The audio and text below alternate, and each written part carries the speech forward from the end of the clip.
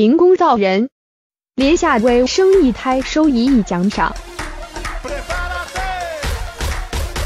连夏薇在二零一五年夏嫁身家逾二十亿的金融才俊莫赞生之后，已经失忆万阔太少奶奶，并减少拍剧。就算拍剧，也是赚钱买花戴。她最近就说自己即将要停工，专心造人。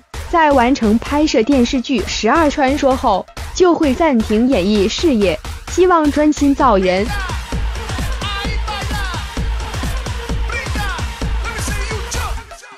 目前他已积极养好身体，更不时做运动。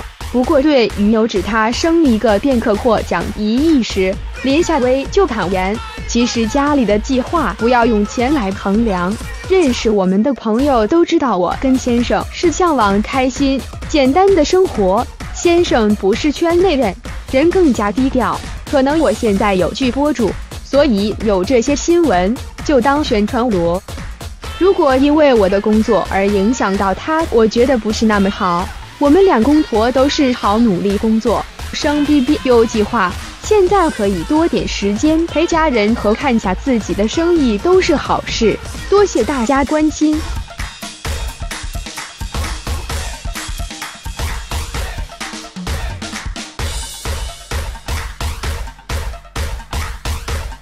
现年三十岁的 TVB 花旦林夏薇与大他十五岁、身家逾二十亿港币的金融才俊莫赞生结婚两年多，虽然过住阔太生活，但林夏薇婚后并未息影，仍然在 TVB 拍剧。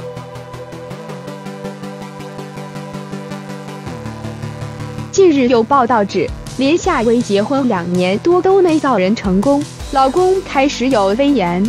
发出最后通牒，夏薇唯有暂时息影，全力造人。连夏薇今日出席 TVB 新剧《十二传说》记者会，对于这部是暂别剧，连夏薇表示之前已计划拍完这部剧就停一停，但不可以说是暂别做，因为只是暂时不拍剧，其他工作都会做。她否认老公对她不造人有威严，反而自己感到惭愧，不能只让老公单方面支持自己工作，希望在家庭与事业之间取得平衡。至于是否已随时准备好造人，连夏薇表示要先拍完这部剧，她工作时会百分之二百全程投入，还要先调理身体。拍剧时不用刻意和老公保持距离，因为拍剧时很忙，连吃饭都要约时间。希望身体好一点时可以送份第一次的礼物给老公。如果有一子一女，当然最好。身边已为人母的朋友也不断催她，弄得她也有点压力。